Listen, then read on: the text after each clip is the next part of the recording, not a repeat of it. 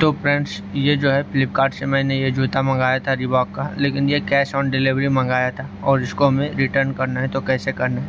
तो देखिए, मैं यहाँ पे आगे प्रोसेस एरो पे क्लिक करता हूँ और क्लिक करने के बाद जो है यहाँ पे रिटर्न वाले ऑप्शन पे क्लिक करता हूँ और रिटर्न वाले ऑप्शन पे क्लिक करने के बाद जो है quality of the product not as accepted दे देता हूँ। यहाँ पर कुछ तो रीज़न देना ही पड़ेगा, मुझे जो कलर है पसंद नहीं आया है जूते का।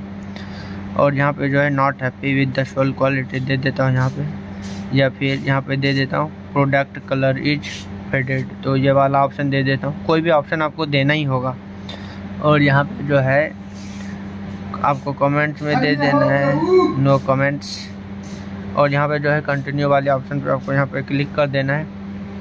और कंटिन्यू वाले ऑप्शन पर क्लिक करने के बाद फ्रेंड्स जो यहाँ पे है we seem to have faced and issue processing your request please try submit your request तो यहाँ पे जो है quality of the product not not as accepted तो यहाँ पे जो ये दोनों मैच नहीं कर रहा है, दोनों अलग अलग हो गया। इसीलिए इसको हम यहाँ पे चेंज कर देते हैं। ये आइटम इज़ पुअर क्वालिटी ये कर देते हैं, ये वाला कर देते हैं। और यहाँ पे नो कमेंट्स जो है, इसको ये नो कर देते हैं। और यहाँ पे कंटिन्यू कर देते हैं।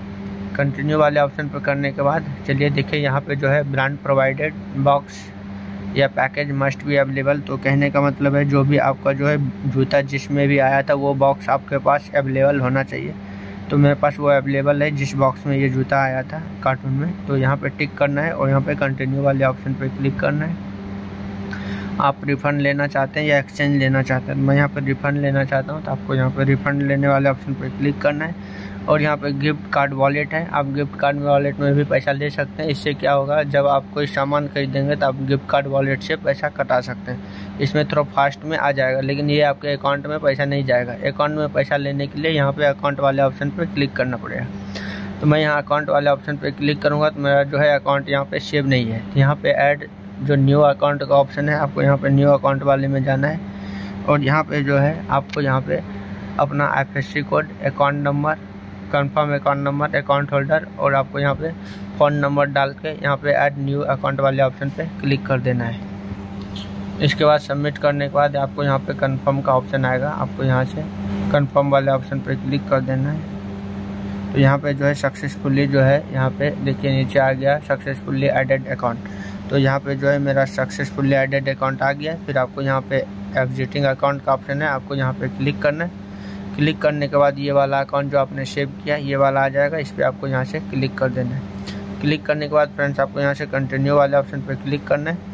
और यहाँ पर जो है सबमिट रिक्वेस्ट का ऑप्शन है। आपको इस पर क्लिक कर देना है।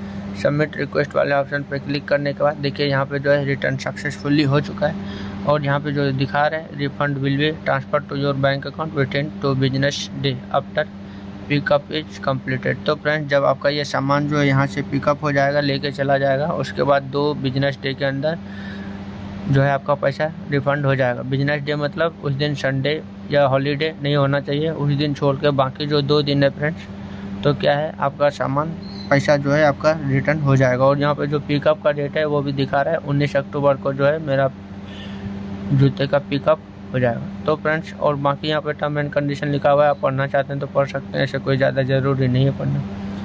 तो समझ गए होंगे आप फ्रेंड्स ओके थैंक यू